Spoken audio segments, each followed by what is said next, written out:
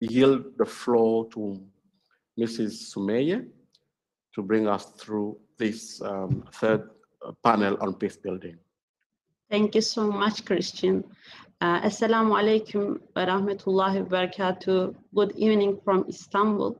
I am Sumaya Semiha from Islamic Cooperation Youth Forum. I'm working as project coordinator in ICYF, and I will be moderating the last session of this brilliant symposium. Uh, this session will host two valuable contributors who submitted papers in peace building theme. Before starting, the session, I kindly would like to remind our speakers that you have only five minutes. Please make sure you complete your presentation in this time. Uh, without further ado, I would like to give the floor to Mr. Ghazi Abdullah Muttaqin, who is co-founder of Strategic Research Society in Indonesia eh, he will present his paper titled The Meaning of Islamic Worldview, a seminal concept to build peace, unity, and solidarity. Mr. Garza, welcome, and please, floor is yours.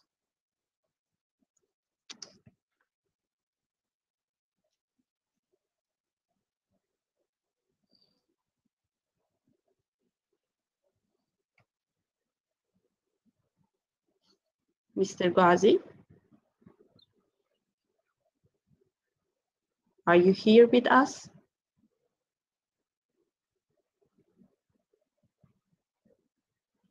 I think there is a technical problem uh, because he was here. Mr. Ghazi.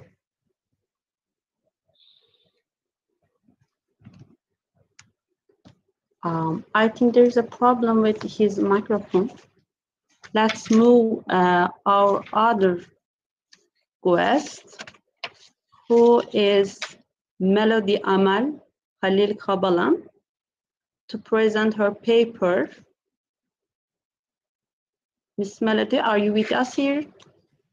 Yes, I'm here. Salam alaikum. Alaikum salam. Uh, she will present uh, his paper titled The Culture of Encounter and Interfaith Dialogue as the Basis of Building Peace. Uh, she is the president is uh, president Islam for Peace in Argentina, uh, which is regional body of RFP.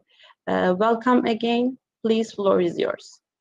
Okay, thank you very much, Sister Sumaya, and thank you very much, uh, Professor Azza Karam, uh, General Secretary of Religion for Peace, and uh, Taha Ayhan, President of Islamic Cooperation Youth Forum. Uh, I'm so glad to be here with all of you and to present this paper. I would like, um, just because we have only five minutes uh, to talk, that it will be impossible to, to, to talk about all the uh, ideas and the proposal for the NGOs and governments for this, um, for the yes, um, sorry, for the basis of building peace through yes, so I would like to focus on the responsibility of the uh, Fed institution. Uh, since now, uh, nowadays, since this year, I'm a president of an Islamic institution. Even I am a yes.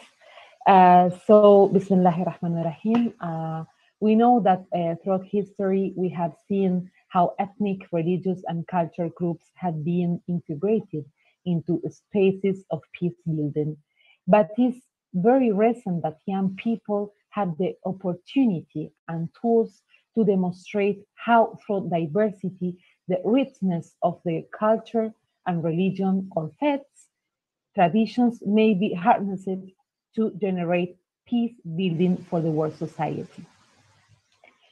Uh, on the paper, I inform you about the steps that young people have contributed in the peace building uh, advantage and challenges focusing on Argentina and Latin America. Uh, I'm sure that if we uh, educate the earliest generation on peace, we have more opportunities for dialogue to be a way of life and not just a future goal. With regard to the relationship of yes and their institutions, it must be borne in mind that Fed institutions should have an adequate program and personnel for young leadership, for yes leadership, to work dynamically and with enthusiasm to improve the world that the young people perceive, and especially the need to engage with the religion or faith. One of the most common mistake today, and the one we must work on, is that institution is segregating young people to yes issues. In most cases, activities, programs, and institutional or social commitment are not shared with the yes, believing that they could not understand the matter, or even worse, that they are not part of it. If we want to find a path and reach outcomes that allow young people to maintain a sense of belonging to their respective religions and engage in the problems of global society from religions and human standpoints, first of all, we must give young people the same room in time and place in the agenda that is given to adults and understand that young people are also adults. Uh, that's why uh, the, responsa- uh, um, the responsibility for engaging young people in religion is from the uh, Fed institution. If young people cannot feel a sense of belonging, it is because they are being separated from the agenda of the institution. If we include yes in the institution agenda together with adults, young people will value being called, but especially their integration. This could be a confirmation that the discernment is as valid as that of those who have been in religion or faith institution for a longer time. We have to see the young uh, activities within the institution as an opportunity. Involving yes is a great opportunity to ensure the religious future in each of the institutions. Young people interact in different places, from the neighborhood, public transport, university, their first job, or outing with friends. All these non-religious spaces may be possible scenarios for a way of life where respect for diversity prevails. So first we have to strengthen the relationship of our institution with the young people and then talk about how uh, to educate and to make the interfaith uh, programs. Young people should no longer be more uh, mere guests. They should be involved in the coexistent proposal. Every action should be uh, requesting and taking an account in the same room with the young people. Um, I would like to tell you, just for finishing uh, my presentation, an example of something, a program that we are doing in Argentina uh, within the diversity network that is a, um, a conflict resolution uh, platform that we founded with uh, interfaith uh, young people specialized in conflict resolution and interfaith. Uh, the last year, when the pandemic started, Diversity Network, we created the uh, Laboratory of Ethnic Culture and Religious Diversity of the, of the Buenos Aires City Legislative Body within the Human Rights Director under the auspices of UNESCO Montevideo here in Argentina. Amidst the pandemic, Diversity Network, together with the human rights that I mentioned uh, before, we found a forum where 15 young people of Abrahamic origin participated during a year of meetings with the aim of learning conflict resolution techniques and conversation, conversation with legislators and human rights-based NGOs. They learned about human rights and how to identify their violations. They also share religious festivities in virtual way, of course, and at the end of the first edition, they submitted a bill to work on religious diversity and prevent cases of ethnic or religious discrimination. And they created work uh, uh, commission. As a common goal, the laboratory creates encounters to understand diversity as well as training through education and knowledge of culture and the support of the state organization, in this case, within the framework of the Buenos Aires City Legislative Body.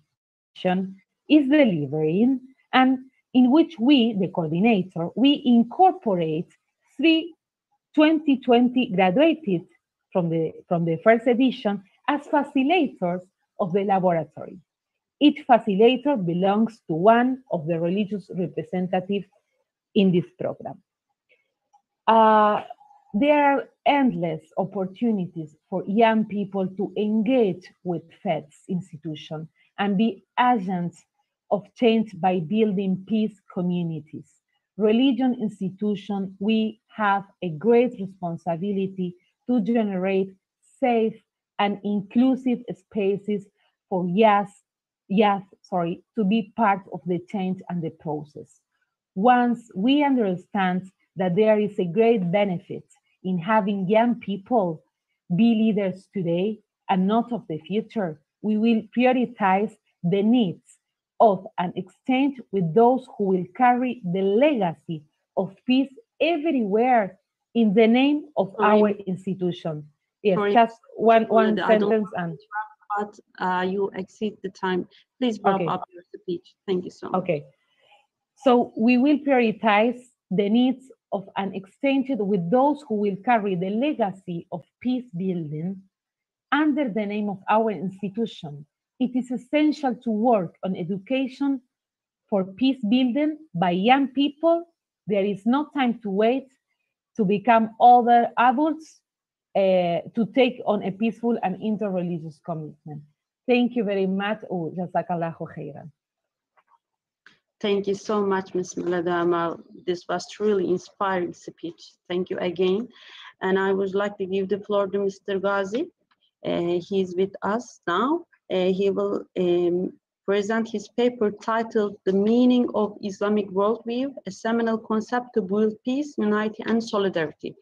Please, Mr. Ghazi, floor is yours. Bismillah, alhamdulillah, wa salatu wa salamu ala rasulillah wa ala alihi wa ashabihi wa mawala. أشهد أن لا إله إلا الله وحده لا شريك له وأشهد أن محمدا عبده ورسوله أما بعد the Honorable the President of ICYF, Mr. Toha Ayhan, His Excellency Professor Mafasano, Her Excellency Professor Hajjatan, uh, tonight is such an honor for me on behalf of Society Future Authority of Indonesia to um, give a representation about the understanding of the Islamic worldview of Ottoman Empire in the story of uh, and adaptation about peace. Islam as uh, the biggest religion in Nusantara has a big role to shape the civilization and society. By the interpreting many resources, it concluded that Nusantara is a former name of Indonesia, which derived from Javanese language. Nusantara, Nusa is island and Antara means other. Though Islam is not the first religion has arrived in Nusantara, but the process of Islamization through spreading Islamic da'wah or Islamic worldview by the Cheddar, ulamas, and Islamic missionaries or Mubalik who rooted from the Middle East, India and Turkey or Ottoman Empire, which made Islam is the fastest growing religion in Nusantara. The worldview or reference chart is an angle or the content of thinking characteristic of an individual, group, or culture. Ottoman Empire is the biggest Islamic empire in the 15th and 16th centuries. Ottomans spent its empire throughout Europe, Africa, Arab Peninsula, until the Southeast uh, Asia. The objective of this research is to promote Islam as a peace religion among the youth to combat the Islamophobia disease. Qualitative method is used in this research to get better understanding of the issues by focusing solely on the corpus and the theoretical framework. Um, so one of the current problem uh, facing by Muslim generation is um, combating Islamophobia. Islam teach that we live in peace and harmony with people of different faiths, including Christians, Jews, and others. Islam is a religion of peace in theory, principle, and praxis that is against any form of oppression, discrimination, security, persecution, and unjust killing of innocent, innocent souls. And then for the next slide about how and Islam entered to Indonesia. Um, the arrival of Islam to Nusantara was directly from Mecca or Arab Saudi. This process took place in the first century of Hijri or seventh century when the Prophet was still alive. Islam arrival brought a big impact and encouraged progress to an advance and advancement, the virtues and triumphant of the worldview, knowledge, culture, and their language. And, and about the meaning of Islamic worldview. Uh, worldview can be said as a person's belief and thought that function as the principle or motto of all human behavior. Islamic worldview is defined by Professor Al-Attas, uh, namely the vision of reality and truth that appears be, before our, our minds are revealing what existence is all about. In the Islamic worldview, the central or core concept which uh, parameters or aspect of belief is Tawheed or the unity of God. To be a Muslim is to believe in the oneness of God. And about the differential aspect between Islamic worldview and Western worldview. Uh, next slide, please. You can see uh, in my computer here. And for the conclusion, uh, mapping the historical roots relation between Ottoman Empire and Nusantara, a lesson for cooperation, peace, and harmony. Um, as we know, Islam is a religion of tolerance, whatever it embraces, and the tolerant spirit will reside in the soul of followers on this of this religion. La fi din qad tabayyana rushdu min al The spreading of Islamic da'wah into Nusantara is not sense effort. The plan of Islamization of Nusantara was prepared since the 6th century and became a serious agenda by sophisticated strategy in order to the citizen in Nusantara can accept the religion of Islam and can assimilate it with them. Uh, in the fact, is uh, is, is Indonesia is the largest Muslim majority country in the world with um, 85 of 230 million people follow Islam the historical roots relations between Ottoman Empire and Nusantara or Southeast Asia is full of harmony, prosperity, cooperation, peace, and tolerance. Uh, it's, each Muslim who have a good Islamic worldview understanding will help non-Muslim when affliction and adversity and are failure in applying the law. Muslim treat people with different opinion and beliefs in the right way. Now, although Muslims still show toleration, even though the other religions have been the persecution and detention of Muslims residing in all parts of the world. Even Muslims are suspected and accused of uh, being a mastermind of terrorists or radicals. I want to show you um, many examples. For the first uh, World War, um, I'm sorry, for the First World War, 70 million killed caused by non-Muslim. And Second World War, um, 50 until 55 million killed by, caused by non-Muslim.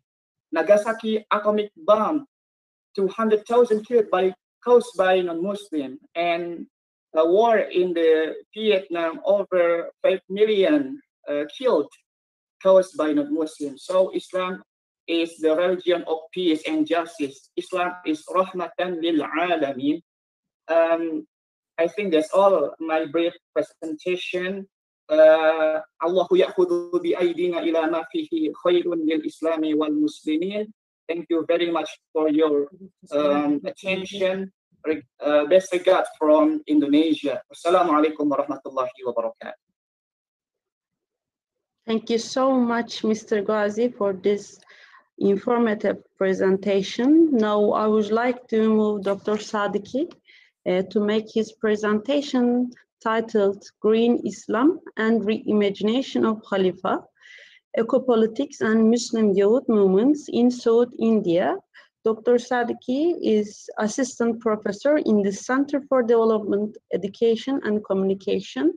Uh, please, Dr. Sadiki, floor is yours.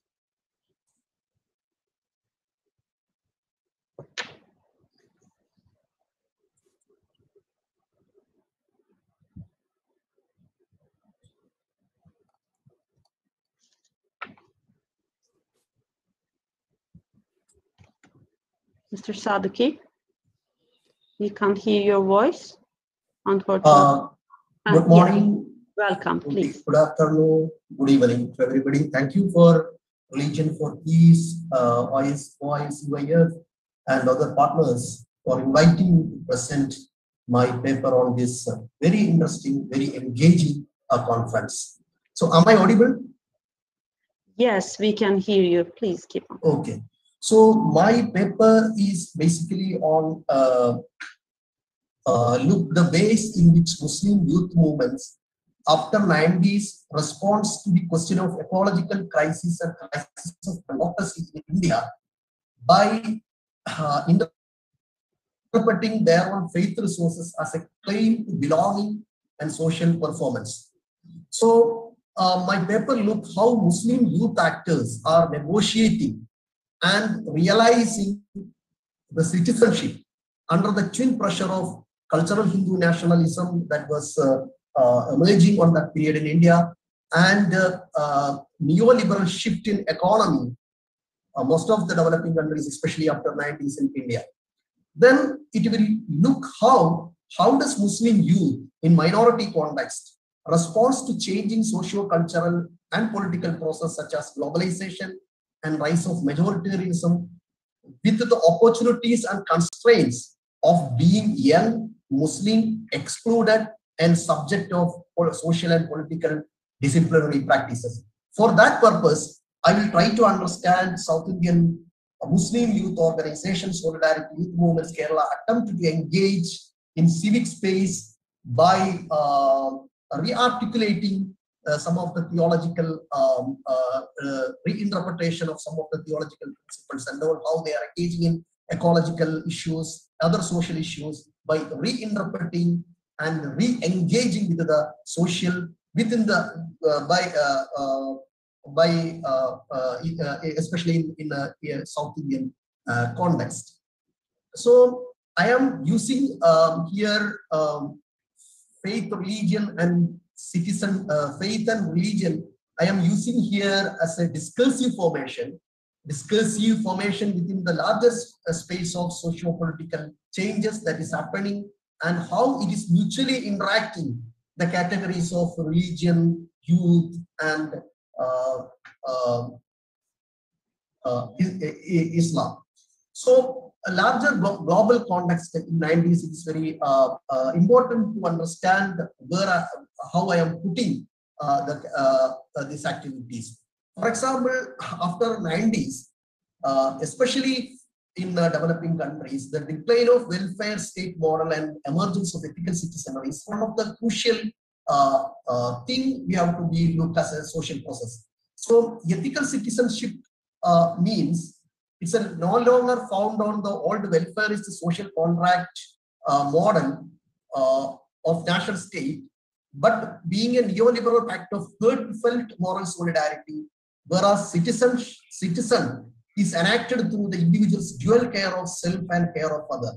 The former welfare state, that is after uh, this uh, um, neoliberal political policies, uh, old form of welfare state built on social citizenship, grant, granting social rights by public provisioning of range of services, seems to leave space to an age full of virtue, where religious and social doctrines and notion of solidarity again merge together. Then volunteerism become one of the significant aspect of solidarity in, in place of state-led welfare narratives. On the one hand, the newly emerged welfare voluntary community see themselves as a moral community situated outside the purview of com- market relations and beneficiaries of state-led development initiatives. So they alternatively put their work as an act of compassion, care, and solidarity to construct a better society. This is one global context in which solidarity youth movement also emerged. And on other hand, there is a question of terrorism, war on terror discourse, and Islamophobia was also emerging uh, uh, uh, global ground. And the uh, decline of welfare state uh, uh, situated, created a two kind of civic space. One is protest politics and politics of governance. Protest politics means their protest politics see source of a state as a source, uh, source of exploitation and injustice and see no possibility of liberation until what they call structural transformation take place. But on the other hand, politics of governance prefer the art of governance. What is important now is that the governance of subject with many identities and coming from many locations. So contrary to the old model of top-down governance, where secular democratic state control the population and structure the society accordingly, the new state emphasis on relations of power and is dispersed and variously negotiated by the subject at many levels. So this has led to the shift from social to ethical citizenship, from a priori compact of shared national welfare to collective belonging that must actively be made through the localized participation.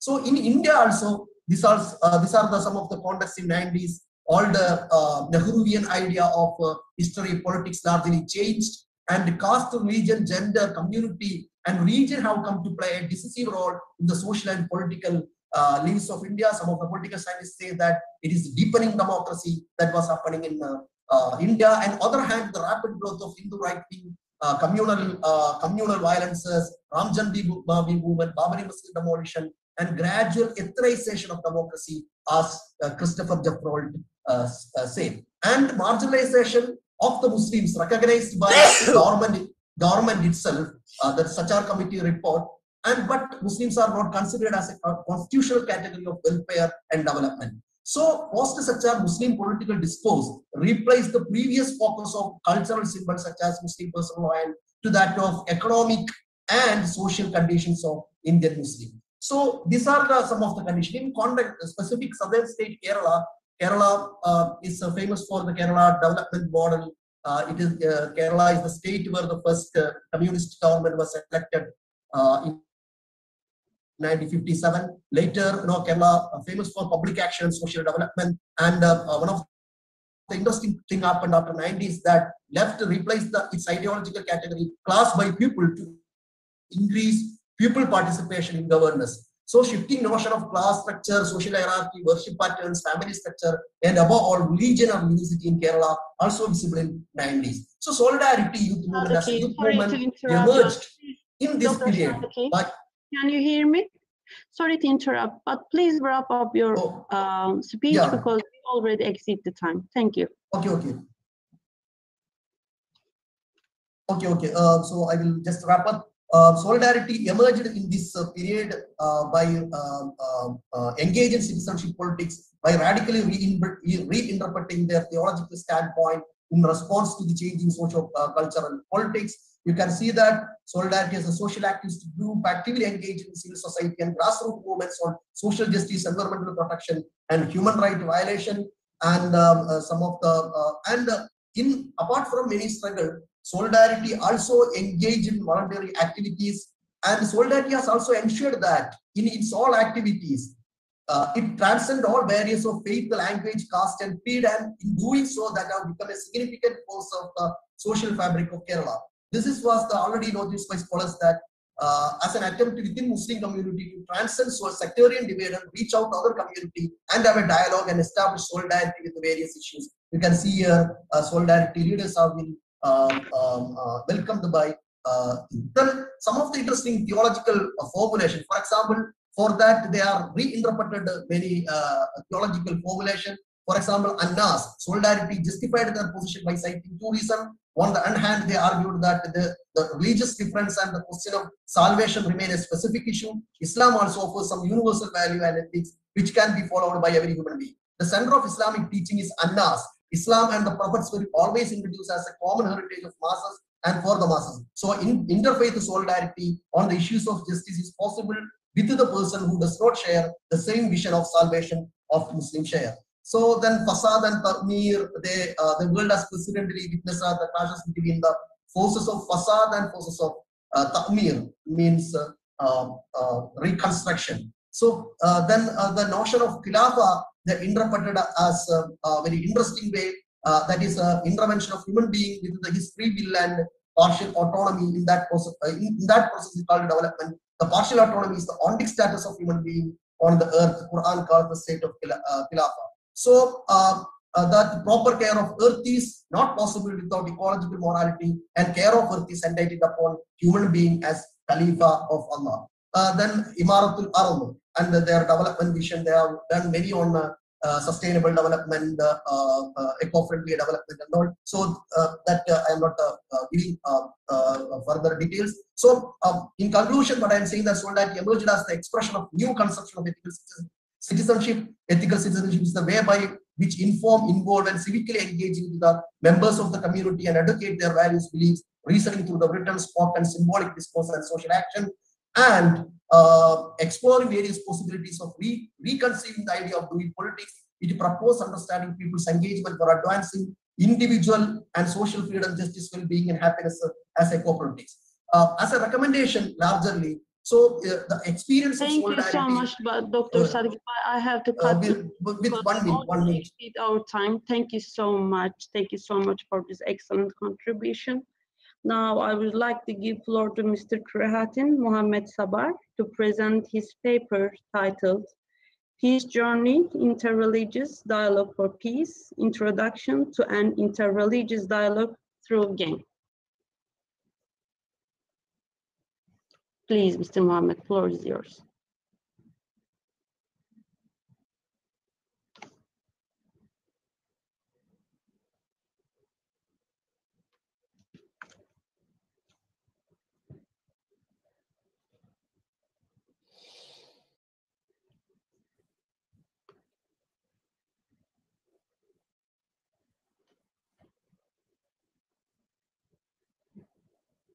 Mr. Mohammed?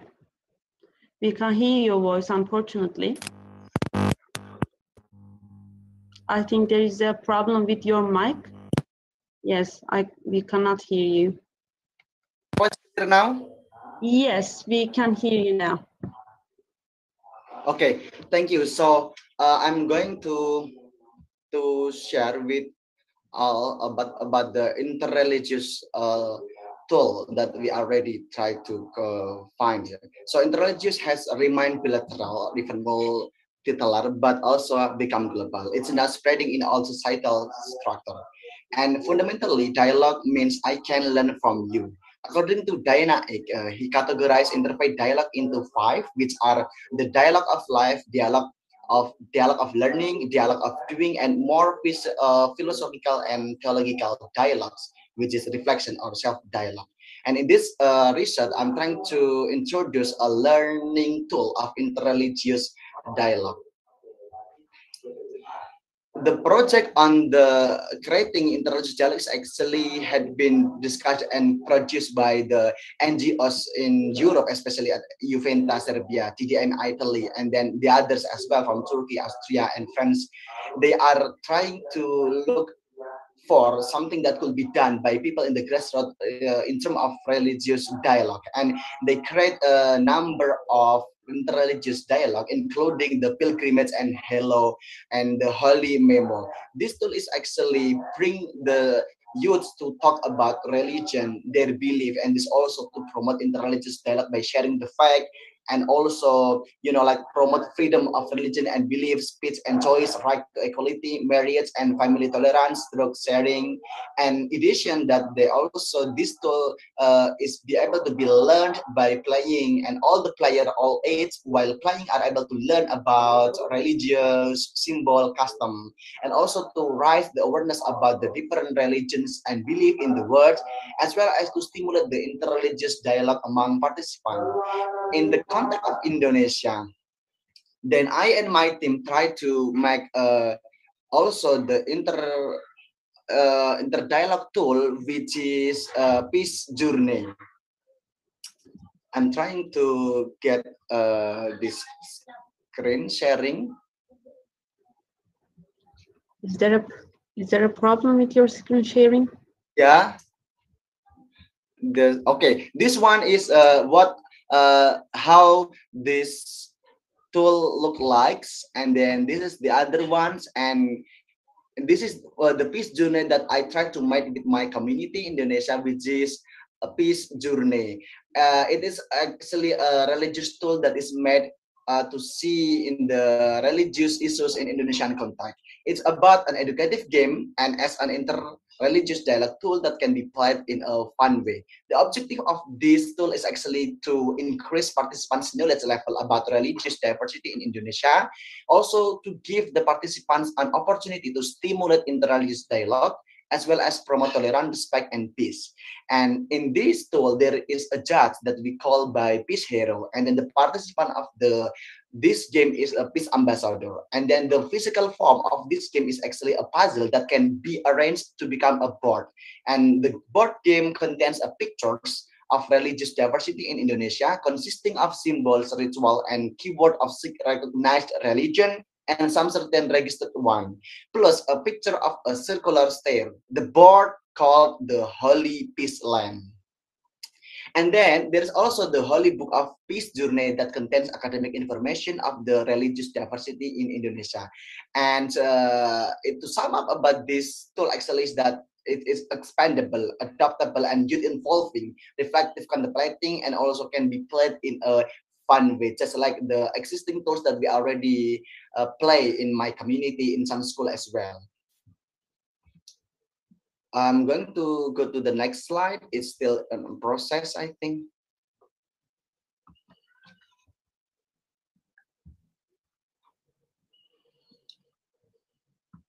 So the three crucial steps in the Peace Journey game is that one is arranging the puzzle. As I mentioned earlier, that the puzzle is actually containing a picture of religious diversity in Indonesia, consisting of symbol, ritual, and keyword of six recognized religion and some certain registered ones. This part challenges participants to unite random pieces of puzzle. And when the entire pieces of puzzle get arranged correctly, the board will be showing participants a visual of Indonesian religious diversity, including a circular stair of the game. The next second, the, the second step is peace adventure. This stage allows participants to play a game, just like a snake stair game. On the game board, in every stop, there will be a question about religion, such as religious question, reflection, or also action. For example, what is a house of worship in Islam? The, the answer would be masjid actually. And then you are a Muslim and being invited to a birthday party celebration of your Christian friend. How do you respond it?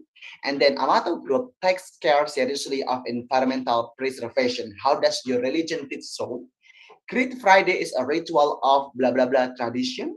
Would you like to perform adhan or meditation or else, etc.? The question and answer of the game refer to the Holy Book of Peace journey as all information and material is written there. And then the last but not least step is the briefing or reflection moment. To begin the briefing session, the judge kindly asks the participants to reflect on their Indonesian religious diversity and ask some of them to share their thought with others. After that, the judge explained in brief about tolerance, respect, and peace according to the Holy Book of Peace Journey based on the theoretical framework. Then asked the participant to reflect on them. And then the judge invites some of the participants to share their point of view about their feeling of tolerance, respect, and peace during the game. And the discussion is open welcomely during the entire of this part. During the whole of the game, all participants are completely encouraged to make some talk, dialogue, discussion, and share their own perspective or real religious life-related experience. The judge is responsible for this encouragement. To be noted that actually there's maybe one more thing to be done in this part of the game is that peace declaration. Please peace declaration in a circle formation that people are uh, saying something together in terms of being peace, in terms of being a peacemaker, and also in harmony way. And then, uh, if I should conclude, I would say that the peace journey, this is a tool that I'm actually still working for, is an alternative to conduct interreligious dialogue that presents religious diversity of Indonesian context. And the contents are designed to increase participants' knowledge level about religious diversity. Meanwhile, the process of the dialogue through non-formal learning promotes among the players mutual understanding of respect, tolerance, and so peace. We encourage this tool can be spread more wider starting from secondary junior school until the high school and also with uh, the Mr. pondok Pratik. pesantren in the coffee shop as well. So uh, last but not least, I would say that if people ask what uh, people of the level grassroots could enjoy the in interfaith dialogue, this such tool could be one of the answer. That's all. Thank you, salam, and uh, see you. Thank, thank you. Thank you so much, Mr. President, uh, for this uh, inspiring presentation, uh, which covers the issue from a very different perspective. Um, I would like to move our last contributor of uh, our uh, symposium, Mr. Riaz Ravat, to present his speech titled How Religion and Faith Can Remain True Whilst Connecting with Secular Agendas Led by Government and Business, such as Employability. Please, Mr. Raz, the floor is yours. Thank you very much, Sumaya. Uh, good afternoon and best wishes to all of you from the United Kingdom. Uh, now, I have to start off by saying that uh, there are advantages of being the last speaker at a two-day conference, a wonderful two-day conference, and that is that I have heard so many contributions. You don't really want to hear me speak, do you? Everything that I was going to say has already been said today and yesterday, so maybe we call it quits so we all go home early. Um, I wish that was the case. I wish that was the case, but no, no, no, far from it. Uh, I do have a PowerPoint presentation. If I can share that with you, that would be most helpful. Uh, I will. Can you all see that? Um, yes, Mr. Raz. Thank you. Screen sharing. Can you all see that? Yes, yes, we can see it. Yes. You can. Lovely. Okay. So um, let me begin with this. Okay. So I am Riaz Ravat. I am Secretary General of Baraza. I also work for an organization called St. Philip Center, which is based in the United Kingdom. So what is Baraza? Who are we? Well, Baraza is a Swahili word meaning council or meeting place. It is a place where we get together. um, and that more or less tells you about the organization, the kind of spirit that we operate within. Whilst I speak to you from the UK, in fact, our headquarters are in Munich, in Germany. Uh, we have a, a small group of staff, advisors, associates, uh, and members. And I would say that our values are understanding, acceptance, and coexistence. Where do they come from? Well, they come from a project that we ran for the Sultanate of Oman, which was based on their exhibition of tolerance, understanding, and coexistence, uh, and their message of Islam and working with and living alongside other faiths. And that project really became the pioneer for our existence back in 2017. Uh, I describe ourselves as a tiny but tenacious organization. Uh, we are very small in staff, but uh, we do have energy and we are very much action minded. And I hope that I can illustrate through a couple of examples what I mean by that. Now, I'm going to um, uh, sit you all a test. Uh, I don't need answers on the chat facility, that's fine. Uh, I will let you judge for yourself how many of these you get correct. But you have a look at this screen in front of you, can you guess which religion or belief these individuals belong to? So I won't eat into too much of my time. I know Sumaya will hold me to account. So very quickly.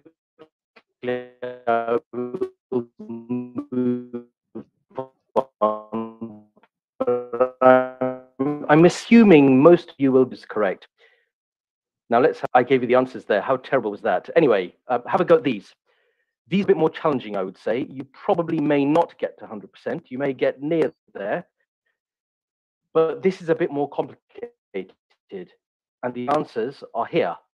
And the last two slides, this one and the previous one, illustrates to you the recipe that we operate within, that we want young people to think critically. We want young people to think outside of the box. We want to avoid stereotypes and prejudices, which are all too easy. Now, I'm going to talk about two particular engagements that Baraza is involved with. One is on the left, our coloring book for children, and on the right uh, is our Unity program for a slightly older age range. Now, my symposium paper, which uh, I know you will all see, it talks about both projects, but the coloring book is available in 16 different languages. It's used by many schools and families in many parts of the world.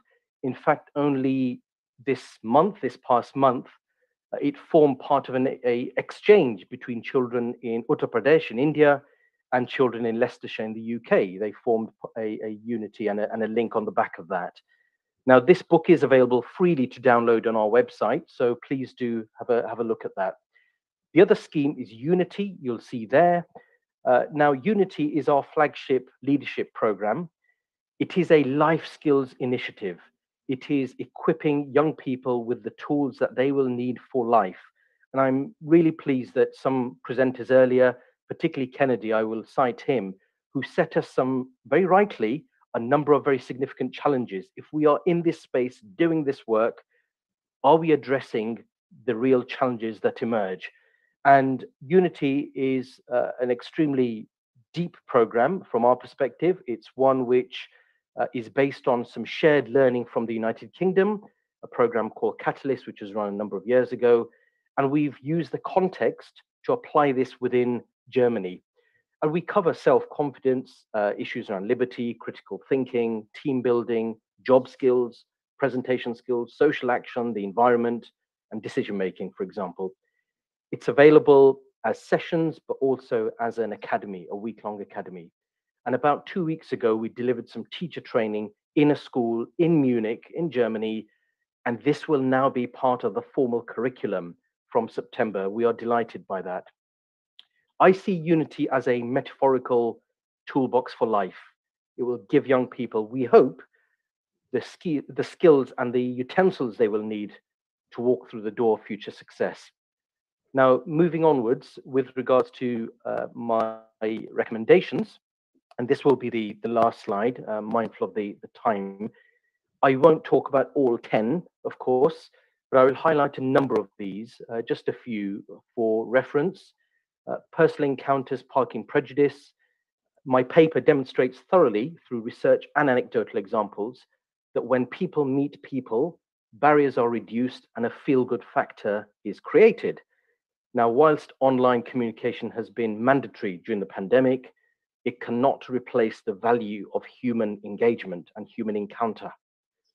Prayer plus purpose, religious and belief organizations come in many shapes and sizes, with diversity their greatest strength. However, this discourse need not be dominated by liturgy. There are examples in my paper of how faith-based organizations are offering prayer but also purpose, which helps young people. And the global faith sector must recognize the wider provisions within its umbrella, such as social action or indeed contributions towards helping the environment. Universality, human life, regardless of religion or belief, must be cherished and valued. My paper shows how faith-based organizations can engage effectively with young people who are passive or even hostile to religion because the case for understanding, respect, and acceptance has many facets to it. Alliances of hope, in order to translate words to actions and to move from aspiration to sincerity, religious and belief leaders and organizations must commit to tackling and speaking out against hate across the piece, even when it is committed from within. Sound safeguarding, faith has enormous power and appeal to an overwhelming majority of people in the world. This authority, however, comes with responsibility.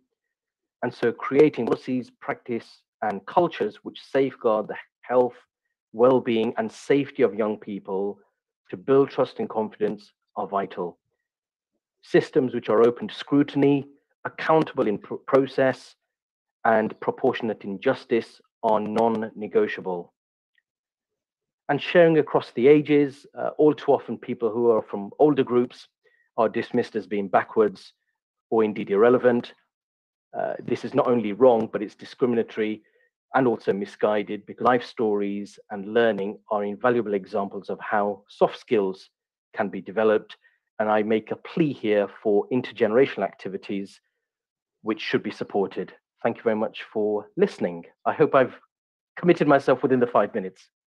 Thank you. Thank you so much, Mr. Riaz.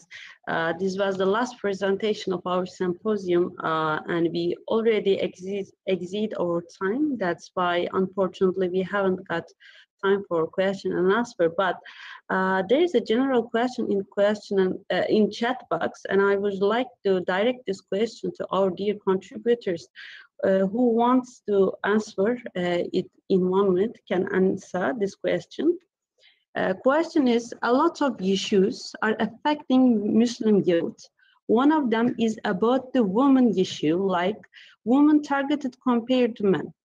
People, even Muslim, misunderstood that an Islamic perspective appears to be limiting the movement of women. But when we look at the history of Islam, it is a not curved. My question is, what what must a young person to do change that perspective? This is a general question to our dear contributors.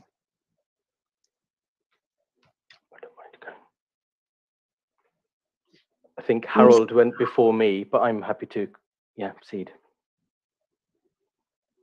Do you want me to speak, Harold? Please. Okay, Okay, okay, sure.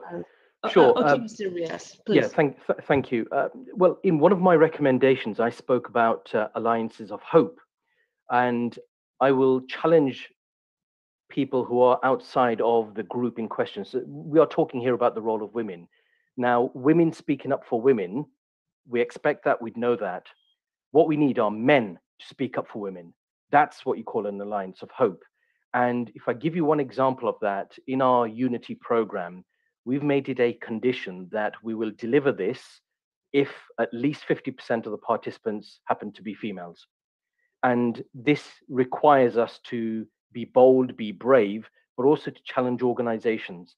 There is simply no point in us talking the talk, but then when things work out on the ground, we walk away from it and just carry on as we were doing before. We have to push ourselves and push those that we work with to see real and lasting change.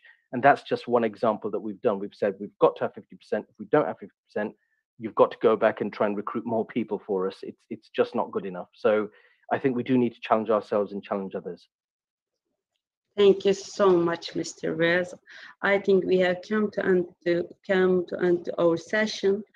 Uh, it was a spectacular experience for me personally, being part of this excellent occasion. I would like to thank everyone who have been part of this historic event. Now we can conclude our session. Uh, thank you so much, our contributors. Uh, Mr. Christian, you can take the floor. Thank you very much, Mrs. Wuyuk and all the, the panelists for um, sharing these uh, insightful presentations. I'm sure everyone uh, has learned something from different processes and tools shared uh, and used to engage youth in action towards peace building. Now we are going to the end of our symposium, but it's time to take some reflections on key takeaways. And uh, it is a privilege for me to invite Dr. Katherine Marshall from Berkley Center for Religion, Peace, and World Affairs at Georgetown University to share with us her reflections on key takeaways. Dr. Marshall, the floor is yours. Thank you. Um, this has been a, a an extraordinarily interesting and challenging uh, two days. I think the the topic is um, is a vitally important one. As as I said in the very beginning, we always need to remember that youth may be the future, but they are also very much the present, uh, and that demands and calls on us to change from a rhetorical focus on youth uh, where we admire and and love youth and mention them repeatedly to finding the most effective ways to engage youth uh, in the dialogue. And that means both hearing voices uh, but also hearing the agendas. In other words what are the priorities? How do the priorities differ? I think another theme is that we very much uh, look to intergenerational dialogue. uh, that is a balanced, creative, and I think demanding dialogue where we challenge each other uh, in different ways. So the rich diversity of the presentations here, rich and diverse because they come from different places, different religious perspectives, but also uh, different topics is important. Um, the most um, significant topic, though, as we look ahead, is where we are on the journey. And this, uh, this symposium is designed to provide ideas and grist, real material, uh, for the next few months, particularly, which are extraordinarily demanding months uh, in the global agenda. And I would hazard also as very demanding uh, historic points. Uh, the Kairos moment, uh, when, as we emerge, we devoutly hope from the COVID emergencies, uh, that we will all collectively uh, be taking advantage of the opportunity to rebuild and to rethink, to look at our strategies, to look at our mechanisms as we go forward. So we are now almost in August uh, 2021, and the months ahead are extraordinarily demanding. Uh, I'm personally very much looking to the G20 Interfaith Forum, which takes place in Bologna in September. Um, the G20, the group of 20 nations or 19 plus the EU, has within the international system a priority uh, mandate looking to crisis management. Uh, and uh, Professor Azza Karam will be one of the leading keynote speakers, uh, setting the agenda for the Interfaith Forum, which is essentially arguing and presenting religiously inspired perspectives for the global agenda overall.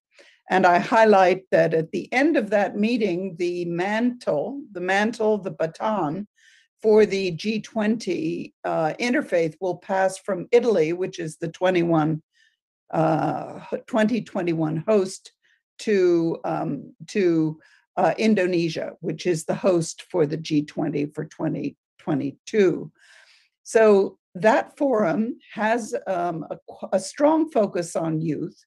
Uh, and I'm very hopeful that as we work together in the months leading up to September, that we can draw some of the inspiration from the presentations here uh, to, to that forum. More significant for the Religions for Peace community uh, is the event that will take place in Lindau in Germany in the beginning of October. Uh, and the plan is that on this continuing journey, the presentations that have been heard here, and I think a few others, uh, will be discussed with you individually.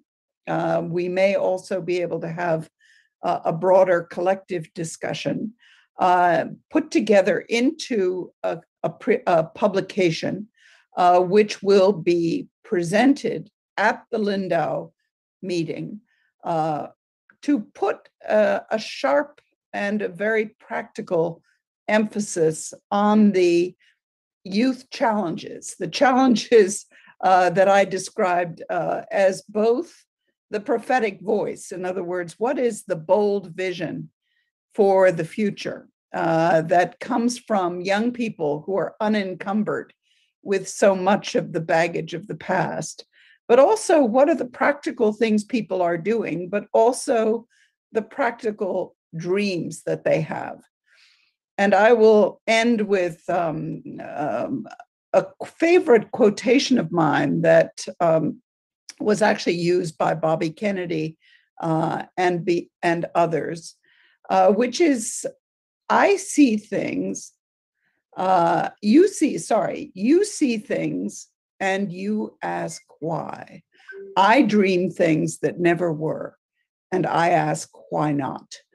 Uh, that's a Bernard Shaw uh, quotation from what might be um, a biblical but inappropriate uh, inappropriate location, which is the serpent speaking to Adam and Eve. In fact, I think it was says the serpent's question, but that doesn't make it uh, a less uh, significant uh, challenge and inspiration to all of us to dream things that never were, the way that we would like the world to be just, equitable, respectful, joyful, uh, peaceful, all of those things that we we seek and that we look to better ways uh, to translate them into reality. So I look forward to continuing this intergenerational journey uh, that is founded on a profound respect and caring uh, for the younger generations, including children, uh, but also looking to something of the wisdom which we hope some of our elders, myself included, have accumulated over the years. So, congratulations to all of you. Uh, thank you and look forward to the continuing journey. Thank you. Thank you very much, Professor Marshall.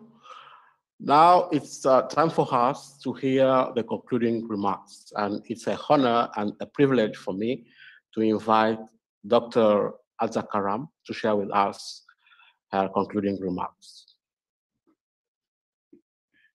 Thank you very, very much indeed, Mr. Christian Lupemba, and a special thanks also to your co-mistress of ceremony, Ms. Noor, who did a beautiful job leading us yesterday as well. Um, I think, as with every other such massive gathering, the folks who take our hands and walk us through from the masters of ceremony to those who are moderating are always some of the most important leaders in a space of joint uh, journey. So a special thanks to all the moderators from yesterday and today. I want to thank each and every one of you. Please allow me to do two things, and I will try not to speak as fast as I usually speak. I will try to speak much more slowly, but I need to do two big things. The first is the formal honoring with gratitude a number of people uh, who made this gathering possible. The second is to share a few reflections with you. Allow me to begin with the former formal honoring of um, His Excellency Mr. Taha Ayhan from the Islamic Cooperation Youth Forum and the wonderful support that he has received um, and guidance that all of us have received from Dr. Fadila Grine, um, Ms. Noor, and a whole team of expert, capable people within the Islamic Cooperation Youth Forum. But I would be very remiss if I don't mention the other co sponsors who have made this a unique gathering of minds, of hearts, of intellect, and of spirit. I refer here very specifically to Dr. Lilian Sison from the Pontifical and Royal University of Santo Tomas in the Philippines, who is also the Secretary General of Religions for Peace Philippines. That's our interreligious council present in Philippines. Dr. Suphatmet Yunyasit from the Institute of Human Rights and Peace Studies at Mahidol University, and another woman Secretary General of Religions for Peace in Thailand. Dr. Katherine Marshall, whom you've just heard, who is, to me, a mentor, not because she's an elder or thinks herself elderly, but precisely because her mind and her intellect encompass so much wisdom and experience.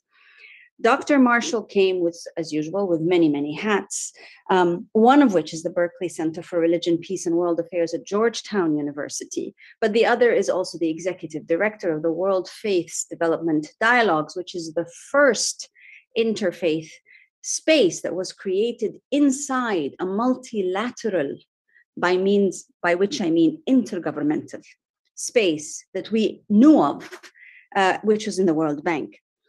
And Dr. Katherine Marshall continues her innovations in those interfaith spaces by now also leading the G20 Interfaith Forum, which is becoming a singular space to connect with the group of 20 governments and interfaith communities around the world. I also want to thank Dr. Matthew Weiner from the Office of Religious Life at Princeton University. We sorely missed his wisdom and his presence with us, but he assured us that he was with us in spirit.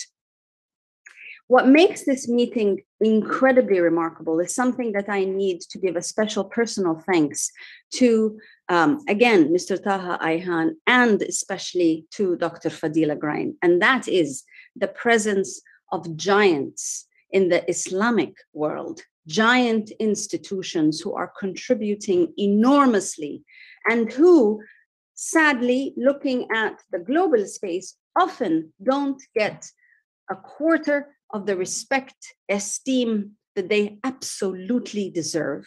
And who am I speaking about? I am speaking about the Statistical, Economic, and Social Research and Training Center for Islamic Countries, SESRIC, I am speaking of the Interna- International Islamic Fiqh Academy, and I'm speaking of the Research Center for Islamic History, Art, and Culture. These are giant institutions with a contribution to humanity, which fully deserves to be not only respected, but deliberately, systematically taken into account. I am grateful for the institutions in the Western world who have set, come together with our Islamic institutions to make this discussion and conversation possible. And I think all of us need to appreciate that this does not happen every day. This is a unique coming together of institutions from the North and institutions from the South to convene a space of learning, of shared wisdom, and of insight. And I want to thank these institutions and to res- show clear respect to each and every one of them. I also want to share with you that I learned a tremendous amount from each and every one of you over the last two days. There is, there is no way to encompass the wealth. One of you said it beautifully yesterday. There is simply so much richness of knowledge. It's mind boggling. It is true. You have come and shared so much wisdom, so much knowledge. It is also true that as young people, relatively, you are fashioning the discourse of today. And I, for one, feel deeply enlightened and deeply humbled by what you have shared. Allow me to ask you, as we go forward on this journey, allow me to ask you to appreciate one another more deliberately, more systematically. There is a beautiful verse in the Holy Quran which says that a kind word, a good word, is like a beautiful tree with roots deep in the earth and branches that reach to the heavens. Can you imagine that beautiful metaphor of such a tree? This is what a kind word is. Never take kind words shared with one another lightly. You are building our forest of cohesion, but also of, as um, Ms. Mirabai said yesterday very beautifully, um, this is the spiritual empowerment that you are uniquely capable of building for us. We speak about empowerment as though it's one thing that we must give to someone else. Effectively, spiritual empowerment is how you empower one another through the power of the work that you do together, the service that you do together. It doesn't have to be a major NGO that is created. It doesn't have to be a major transnational global initiative. It can be something as small as reaching out a hand in sympathy and a smile to a stranger in the street. You used, some of you, some beautifully intricate terminology in what you were sharing. And I would say to you, kudos, but I would also beg you to consider that the simpler the language of our communication, especially when we communicate across so many cultures. We have had people here from Latin America and the Caribbean. We've had people from Asia, the Pacific. We've had people from Africa. We've had people from uh, the Arab world. We've had people from Europe this diversity that Professor Katherine Marshall noted is one of our challenges, is also the strength, but it will become a strength when we are able to speak to one another in language that is not using terribly complex terminology, in language that comes from the heart and still expresses the, the passion and the wisdom that otherwise many academics use and write in very complicated ways. We don't need complex terminology to communicate the passion and the love and the spirit that we need to share with one another. I also want to share with you this, and many of you spoke about this. We have a lot to learn about each other's faith traditions. We have a lot to learn about each other's cultures as they are informed by these faith traditions. There is never enough learning. When it comes to our faiths and our cultures, there is never a moment of, okay, I figured it out. I understand now. I can do this. Never. We have been created diverse in order to continue to learn about and from one another. There is no plateau of learning about each other's faith. It is a constant process. That is why, in Religions for Peace and in many other interfaith organizations, the commitment to continued learning and the humility that that requires is absolutely essential. Many of you have shared stories about the work that you're doing, how valuable these stories are, because stories are what all faith traditions originally came to us in. It was all about stories.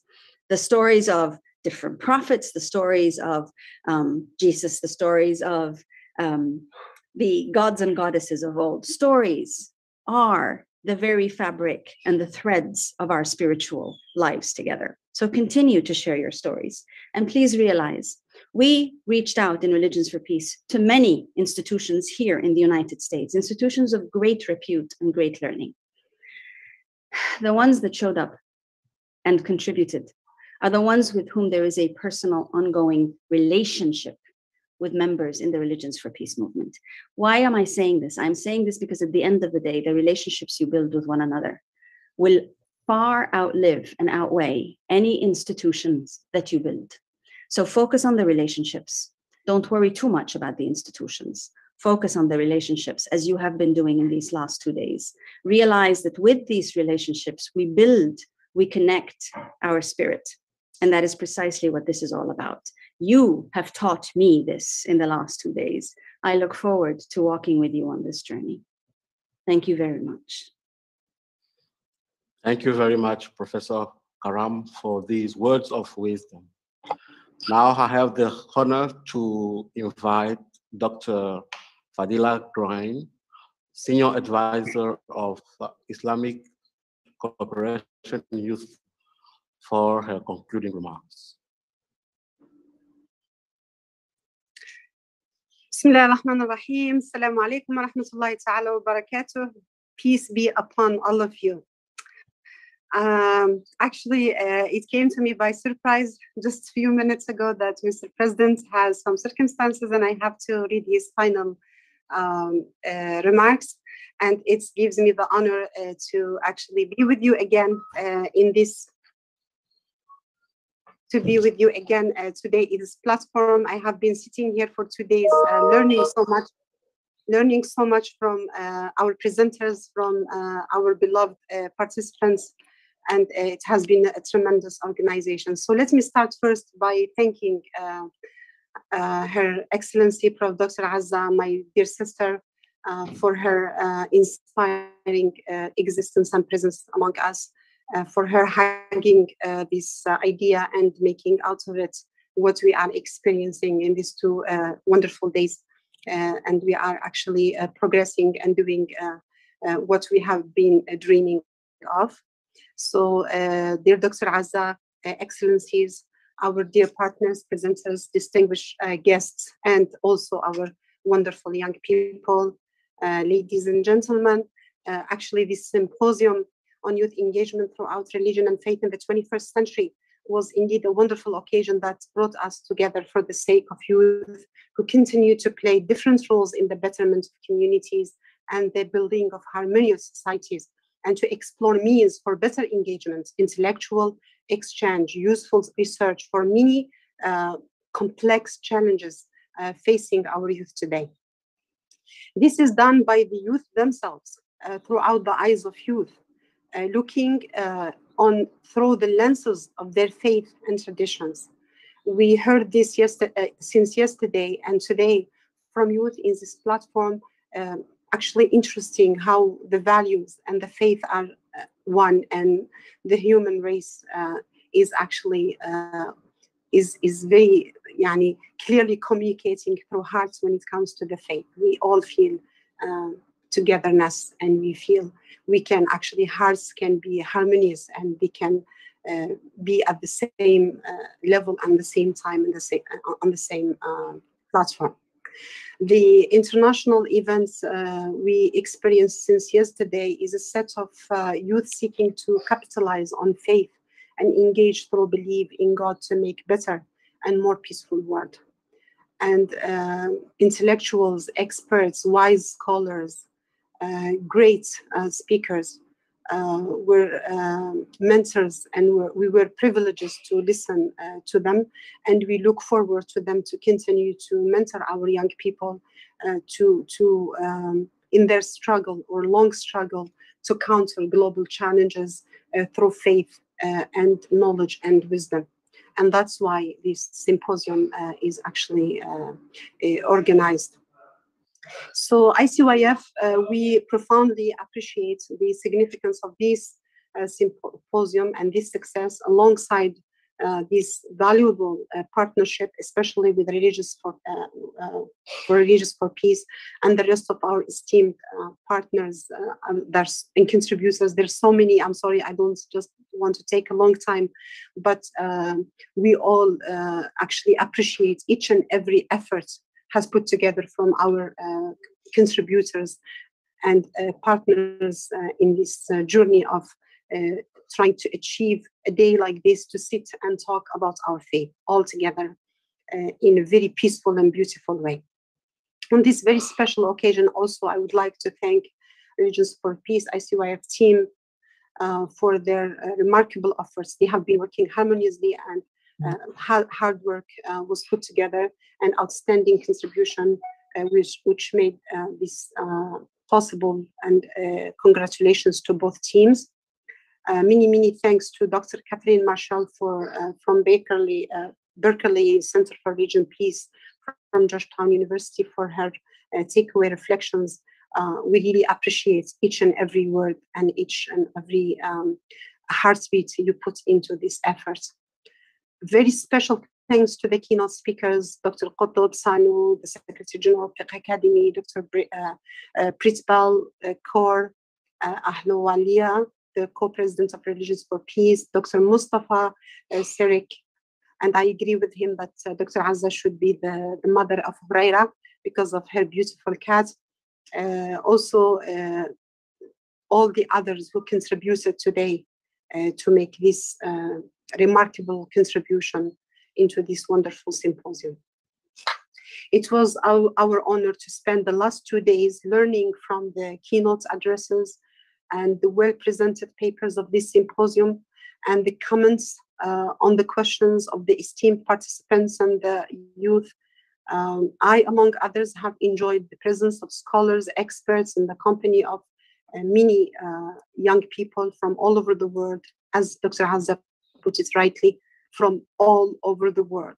Every single part of the world, they were with us since yesterday, all committed to celebrate faith in action, connect the dots, answer the difficult questions, and inspire, maybe ask more questions, and inspire our youth to move forward with confidence, assurance, and certainty, living their lives as people of faith who are uh, who care about the wellness and the prosperity of the human family. The symposium completes its mini session, scholarly papers, contributions, rich discussions with tremendous success, in my opinion. For that, I would like to extend the highest respect and the most sincere gratitude to the joint efforts of all the scholars, experts, contributors, guest participants, and representatives of the esteemed institutions and universities who were with us in this symposium. Our exemplary participation further promoted the spirit of cooperation and contribution and solidarity among institutions and individuals. Our cordial congratulations to all of you for the success of this outstanding gathering, and the result is brought over the past two days. Uh, the energy of the faith and commitment has been present throughout the sessions with uh, perspectives drawing on minds, souls, and hearts to shape views on the many complex questions uh, of faith in action. That was really the most wonderful part of this. And Undoubtedly, we live with shared global problems, challenges. The way forward, therefore, is through minds, hearts, and hands working together. Our Prophet Muhammad taught us that it's necessary to have pure and sincere intentions to qualify deeds and action as good and right. We humans are source of good and peace, but we can also turn to become sources of damage and trans- transgressions and destruction sometimes if we lose the path of faith and the connection with God.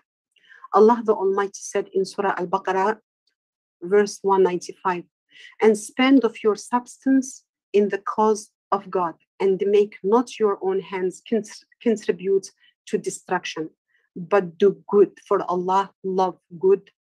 Uh, for Allah, God, love those who do good. So it's very clear when we walk the path of faith, it's all about being good and doing good.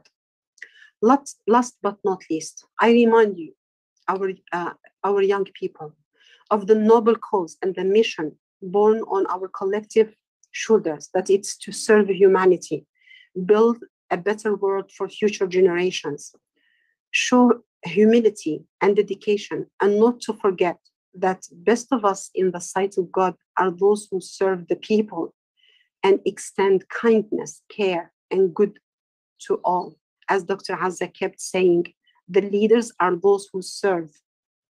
God the Almighty said in chapter 49 in the Quran, verse 13, People, we created all of you from single men and single women and made you into races and tribes so that you should recognize one another. In God's eyes, the most honored of you are the ones most mindful of Him. Hmm. God is all knowing, all aware.